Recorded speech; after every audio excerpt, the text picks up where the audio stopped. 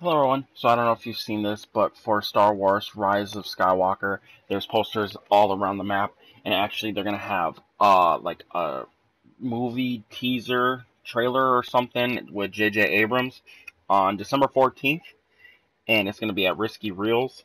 Doors open at 1:30 p.m. Eastern time, and then the show starts at 2 p.m. Eastern time.